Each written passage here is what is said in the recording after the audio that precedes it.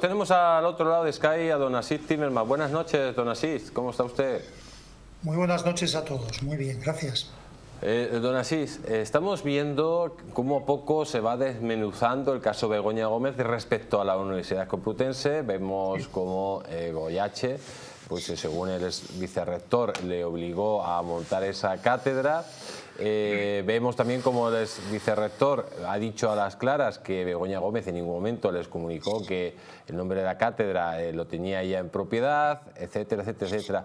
Poco a poco se está viendo, eh, se está desnudando, digamos, las mentiras que, con las cuales se intentaba protegerse la mujer de Pedro Sánchez, ¿no? Sí, sí, además yo creo que la clave de, la conducta de Begoña y de su marido, de Pedro Sánchez, es la que un eh, contertulio suyo acaba de comentar y que me parece clave. Es decir, hay varias ilegalidades y entre ellas, en mi opinión, varios delitos que se han cometido en todo este entorno. Pero lo que ya está expuesto, lo que ya se conoce, lo que se sabe y no se niega, ya es suficientemente grave como para hacer caer un gobierno en cualquier país de Europa. Mm, es verdad que en muchos países las cosas no son como eran antes y los estándares de decencia no son, no son tan altos, pero en ningún país ha pasado eso. No estamos hablando solamente que a una persona la, la contraten por ser mujer del presidente del gobierno. Estamos hablando de que contratan a una persona que es eh, clara y rotundamente eh, incapaz para el puesto. Incapaz me refiero desde un punto de vista de titulación, desde todos los puntos de vista se hace con una intervención directa continuamente, bien del presidente del gobierno, bien de amigos de la pareja, de amigos íntimos de la pareja. Estamos viendo que varios de los temas de patrocinios, de, de, conseguir personas que colaboraban con la cátedra, incluso, de, por supuesto, de conseguir dinero a través de la OMT, etcétera, etcétera. Estamos viendo que todo eso se hacía bien a través del presidente del gobierno, bien a través de amigos íntimos del presidente del gobierno. Es decir, lo que ha salido ya hace mucho tiempo y lo que está saliendo ahora debería estar, en mi opinión, aireado día tras día por la oposición, por la oposición, por los agentes sociales, por los agentes políticos. Y me da la sensación, no sé si está usted de acuerdo, que los partidos políticos están como callados esperando a ver qué pasa en los tribunales. Y eso es gravísimo porque como, como eh, no haya... Es cierto, no tienen un relato, ¿no? no tienen un relato contra lo que está pasando políticamente hablando en estos instantes. Claro, es decir, están jugándose toda la carta a que Begoña Gómez y quién sabe que, si su marido sean procesados y sean condenados.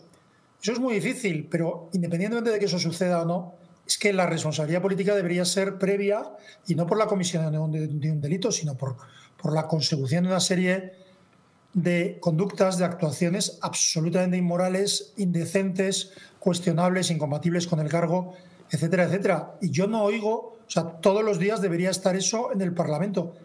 ¿Qué es esto de que, o sea, yo no se llama a declarar a Begoña Gómez al Congreso, cosa que no, o al Senado, cosa que no, no, me, no me pronuncio acerca de ello. Pero se debería estar preguntando todos los días al presidente cómo ha cometido la indecencia de eh, participar en reuniones que favorezcan a su mujer, de poner en contacto, eh, de, proporcionar eh, subvenciones muy, muy, muy cuantiosas a empresas que están directamente proporcionando financiación a su mujer. Es decir, las responsabilidades políticas, estéticas, morales, son, tan intensas que me sorprende muchísimo que estén todos callados como, haya una absolución o como sucede, o como aparten al juez peinado, o como consiga el poder de Sánchez barrer el procedimiento penal o que no llegue a buen puerto, el mensaje de impunidad absoluta y, el, y la exigencia de responsabilidades por parte del propio Sánchez a la oposición, a todo el que haya cuestionado a su mujer, va a ser tan tremenda que va a recordar, sin ninguna duda, al chavismo en Venezuela. Pues yo usted creo que, que, da la clave por una sencilla razón, porque mm, precisamente lo hablaba con un amigo. ¿Se acuerda usted con los papeles de Bárcenas que lo sacaron hasta la sopa? ¿O el texto de, de Rajoy, sé fuerte Luis, vamos, eh, era día sí día también en los medios de comunicación y, políticamente hablando, digamos que utilizaban cosas minúsculas para hacer política día sí día también contra el Partido Popular. Claro.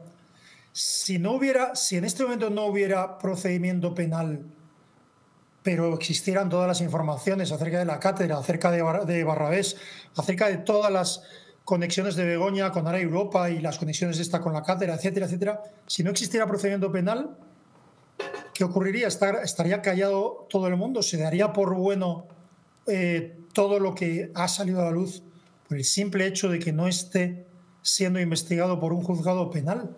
A mí me parece que mm, tenemos una degradación, también decía una compañera, perdonen porque no he visto el principio del programa, eh, hay una degradación en la sociedad tremenda, es decir, no, el votante socialista les igual, todo esto les es absolutamente igual, pero también hay una debilidad en la clase política, porque esto debería estar en el Parlamento, cuando menos, todos los días. Yo lo pienso así.